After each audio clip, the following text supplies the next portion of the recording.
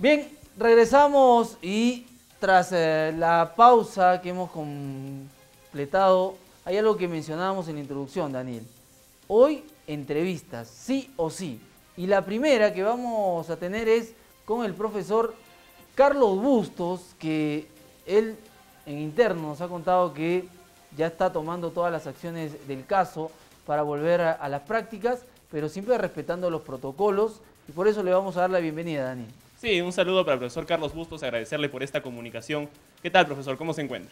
Hay un tema importante para conversar respecto a esta vuelta del fútbol y es la cuestión de los entrenamientos. El señor Gustavo Ibanco ha dicho que el Estadio Melgar está listo, está ok para volver a la práctica. ¿Usted ha tenido la oportunidad de poder observar un poco la cancha y si va a estar acorde a lo que se necesita para volver a poner bien físicamente a los futbolistas? Y si he tenido la chance de, este, de llegar hasta el Estadio Melgar y la verdad está muy bien eh, ha estado cuidada todo este tiempo. De hecho, la gente que se ocupa de, de los diferentes lugares donde entrenamos, eh, este, de conservarla, fue en el estadio de Melgar donde se instaló la gente que normalmente lo hace, con lo cual es, es el estadio que está, está muy bien, está apto para, para poder este, utilizarlo cuando, cuando den las autorizaciones.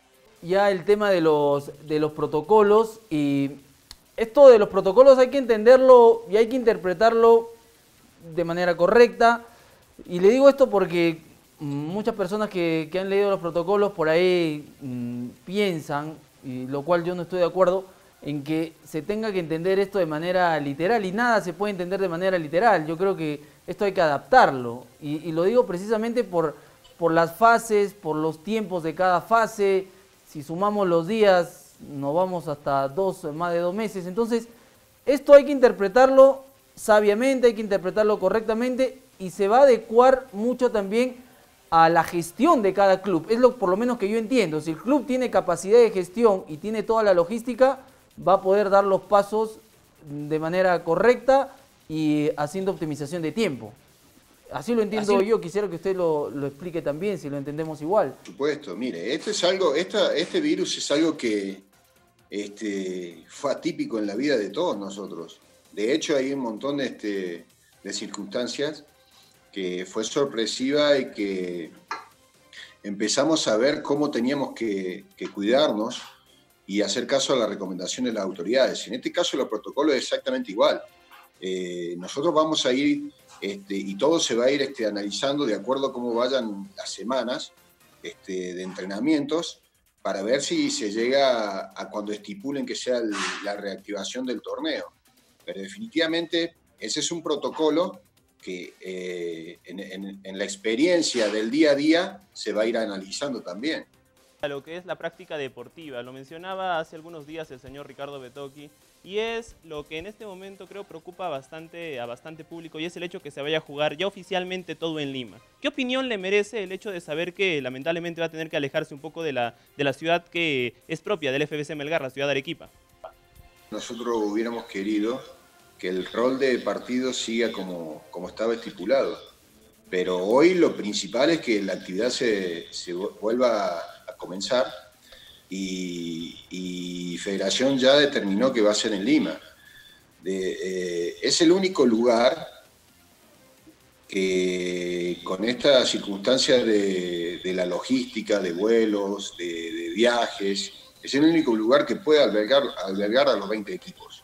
Entonces, en ese sentido, no es lo que quisiéramos, porque quisiéramos este, aprovechar la localía de la altura, del lugar, de nuestra cancha, pero desgraciadamente hoy ocupa otras cosas y, muchos equipos tienen que resignar situaciones. En este caso, lo que nos toca es este, programarnos para entrenar bien e ir a disputar este el torneo en, Lima. Voy a citar las palabras del técnico Ricardo Gareca hace unos días. Él decía, el fútbol peruano se tiene que preocupar solo y únicamente por el fútbol peruano, por manejar sus normas, por manejar sus leyes y no estar mirando mucho afuera. Y él lo decía esto en un contexto de que, bueno, nosotros tomamos nuestras decisiones y nosotros nos preparamos, hay que confiar en nuestra propia gestión.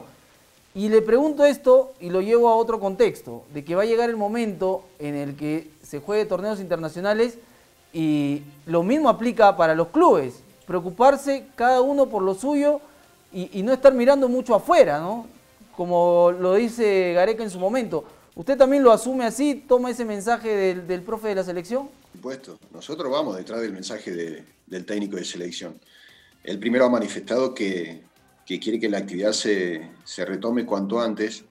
No se olviden que aquí eh, eh, uno no sabe lo que puede llegar a pasar, esperemos que todo se vaya mejorando y solucionando, pero en definitiva ya desde septiembre está programado jugar eh, eliminatorias y Copa Libertadores, con lo cual este, los jugadores tienen que estar en actividad un tiempo prudente eh, con anticipación. Entonces, este, creo que está bien lo que ha dicho el entrenador de selección. El tema que estaba tocando, la Copa Sudamericana. Es verdad que aún falta bastante tiempo, pero una de, la preocupación, de las preocupaciones del hincha es que quizás se le obligue a jugar a Melgar en Lima. Y claramente cambia totalmente el contexto si se juega en Lima o si se juega en Arequipa.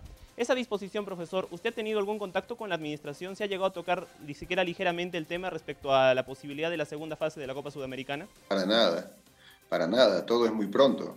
O sea, imagínense que por eso hay que hablarle bien a la gente y, este, y con las expectativas lógicas. O sea, a ver, eh, si septiembre reanuda Copa Libertadores, nosotros necesitamos que se jueguen cuatro fechas más de Libertadores para poder saber cuáles son los ocho equipos que ocupen la tercera posición y esos son los que van a, se van a sumar a Sudamericana.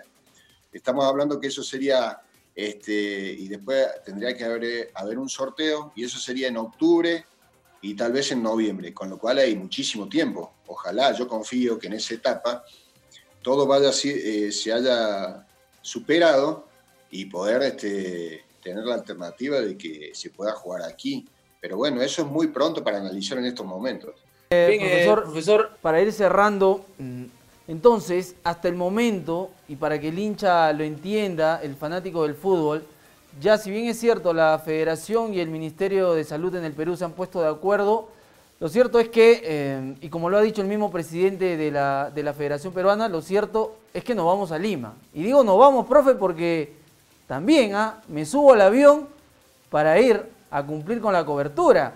Y hay que ponerle algo de buen ánimo a pesar de este momento difícil, pero la pelotita va a rodar y, y hay que acomodarnos todos.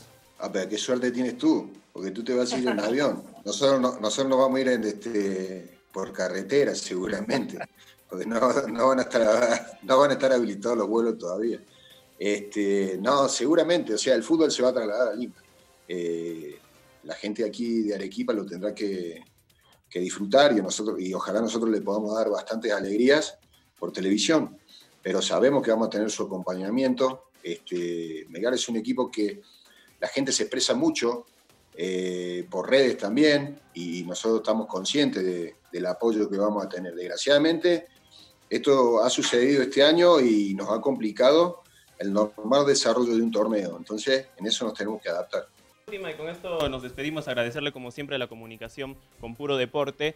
Eh, quería cuestionarle y preguntarle, profesor, respecto a lo que es las pruebas moleculares, las pruebas serológicas. ¿Le tiene un poco de temor a las agujas, profesor? Porque claramente establece que cada siete días se va a tener que renovar las pruebas. ¿Le tiene un poco de temor? Y si es así, ¿para cuándo estarían tomando la primera prueba en su caso, profesor? No, no, no, no tenemos ningún tipo de temor. Además, este, agradecemos que nos puedan hacer las pruebas. Eh, no, bueno, hay una reunión de presidentes que van a determinar cuándo sea el momento de poder empezar a entrenar y eso se tendría que hacer la primera precisamente antes de, que volvamos a la actividad. Por este tiempo y, como le digo, ya lo bueno es que la pelotita va a volver a rodar y esperamos vernos en una cancha de fútbol donde nos hemos conocido y que el fútbol realmente sea esa inyección anímica para nuestra sociedad que tanto lo necesita, profe. Bueno, muchísimas gracias a ustedes por el contacto y ojalá así sea como lo estás diciendo. Un abrazo grande a los dos.